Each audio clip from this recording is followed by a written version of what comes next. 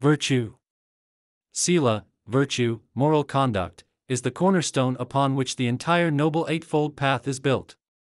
The practice of Sila is defined by the middle three factors of the Eightfold Path right speech, right action, and right livelihood. Practicing Buddhists voluntarily undertake a particular set of training rules appropriate to their life situation. Lay men and women observe the five precepts, Pancasila. Lay men and women doing intensive meditation practice, as on Uposatha days, observe the eight precepts, Atthasila. Novice monks, Samanera, and nuns, Samaneri, observe the ten precepts, Dasasila. A fully ordained monk, Bhikkhu, follows the 227 rules of the Bhikkhu Patimokkha, a nun, Bhikkhuni, would follow the 311 rules of the Bhikkhuni Patimokkha. The rewards of virtue. Ananda. What, O Venerable One, is the reward and blessing of wholesome morality?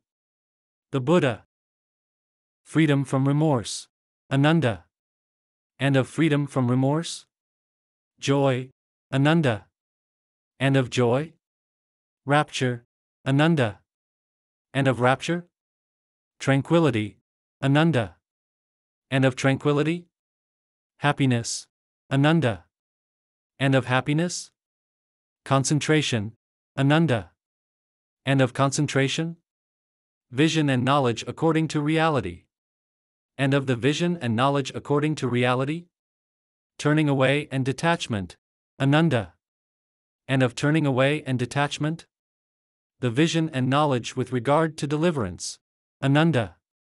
AN 10.1, Nyanatiloka, trans, From Path to Deliverance, pages 65 to 66. 5 Faultless Gifts. There are these five gifts, five great gifts, original, long standing, traditional, ancient, unadulterated, unadulterated from the beginning, that are not open to suspicion, will never be open to suspicion, and are unfaulted by knowledgeable contemplatives and Brahmins. Which five? There is the case where a disciple of the Noble Ones, abandoning the taking of life, abstains from taking life. In doing so, he gives freedom from danger, freedom from animosity, freedom from oppression to limitless numbers of beings. In giving freedom from danger, freedom from animosity, freedom from oppression to limitless numbers of beings, he gains a share in limitless freedom from danger, freedom from animosity, and freedom from oppression. This is the first gift, the first great gift, original, long standing, traditional, ancient, unadulterated, unadulterated from the beginning, that is not open to suspicion, will never be open to suspicion, and is unfaulted by knowledgeable contemplatives and Brahmins. Furthermore, abandoning taking what is not given, stealing, the disciple of the Noble Ones abstains from taking what is not given. In doing so, he gives freedom from danger, freedom from animosity, freedom from oppression to limitless numbers of beings. In giving freedom from danger, freedom from animosity, freedom from oppression to limitless numbers of beings, he gains a share in limitless freedom from danger, freedom from animosity, and freedom from oppression. This is the second gift. Furthermore, abandoning illicit sex, the disciple of the Noble Ones abstains from illicit sex. In doing so, he gives freedom from danger, freedom from animosity, freedom from oppression to limitless numbers of beings. In giving freedom from danger, freedom from animosity, freedom from oppression to limitless numbers of beings, he gains a share in limitless freedom from danger, freedom from animosity, and freedom from oppression. This is the third gift. Furthermore, abandoning lying, the disciple of the Noble Ones abstains from lying. In doing so, he gives freedom from danger, freedom from animosity, freedom from oppression to limitless numbers of beings. In giving freedom from danger, freedom from animosity, freedom from oppression to limitless numbers of beings, he gains a share in limitless freedom from danger, freedom from animosity, and freedom from oppression. This is the fourth gift. Furthermore, abandoning the use of intoxicants, the disciple of the Noble Ones abstains from taking intoxicants. In doing so, he gives freedom from danger, freedom from animosity, freedom from oppression to limitless numbers of beings.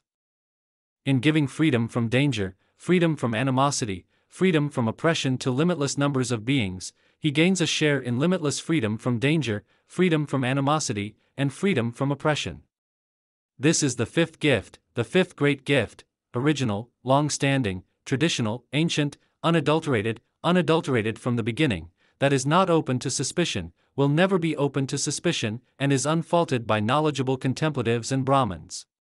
And this is the eighth reward of merit, reward of skillfulness, nourishment of happiness, celestial, resulting in happiness, leading to heaven, leading to what is desirable, pleasurable, and appealing, to welfare and to happiness.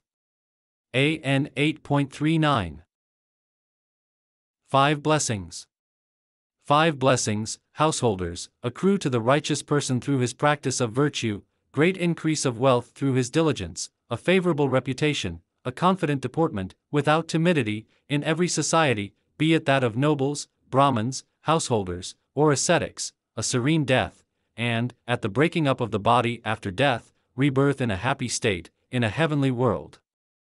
DN 16 admirable friends encourage the development of virtue. And what is meant by admirable friendship? There is the case where a lay person, in whatever town or village he may dwell, spends time with householders or householders' sons, young or old, who are advanced in virtue.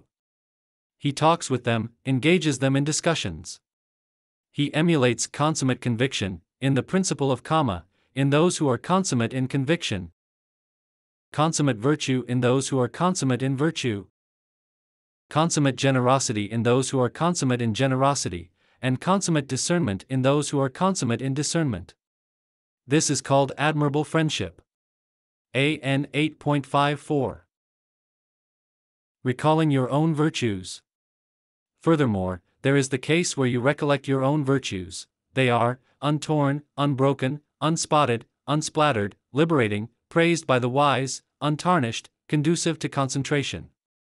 At any time when a disciple of the Noble Ones is recollecting virtue, his mind is not overcome with passion, not overcome with aversion, not overcome with delusion. His mind heads straight, based on virtue. And when the mind is headed straight, the disciple of the Noble Ones gains a sense of the goal, gains a sense of the Dhamma, gains joy connected with the Dhamma. In one who is joyful, rapture arises. In one who is rapturous, the body grows calm. One whose body is calmed experiences ease.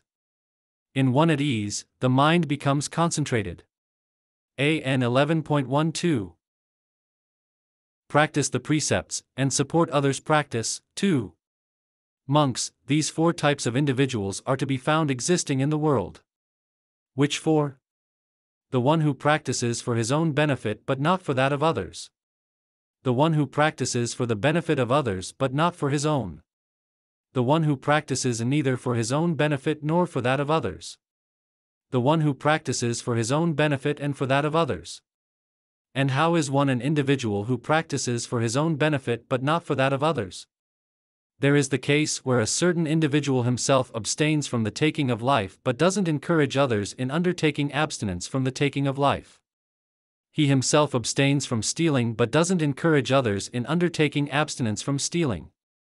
He himself abstains from sexual misconduct but doesn't encourage others in undertaking abstinence from sexual misconduct.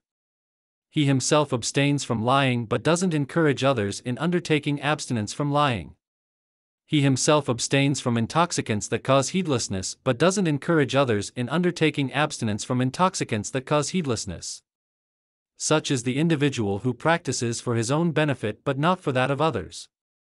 And how is one an individual who practices for the benefit of others but not for his own? There is the case where a certain individual himself doesn't abstain from the taking of life but encourages others in undertaking abstinence from the taking of life. Similarly, with the precepts on stealing, sexual misconduct, lying, and intoxicants such is the individual who practices for the benefit of others but not for his own. And how is one an individual who practices neither for his own benefit nor for that of others? There is the case where a certain individual himself doesn't abstain from the taking of life and doesn't encourage others in undertaking abstinence from the taking of life. Similarly, with the precepts on stealing, sexual misconduct, lying, and intoxicants such is the individual who practices neither for his own benefit nor for that of others. And how is one an individual who practices for his own benefit and for that of others? There is the case where a certain individual himself abstains from the taking of life and encourages others in undertaking abstinence from the taking of life. Similarly, with the precepts on stealing, sexual misconduct, lying, and intoxicants. Such is the individual who practices for his own benefit and for that of others. These are the four types of individuals to be found existing in the world. AN 4.99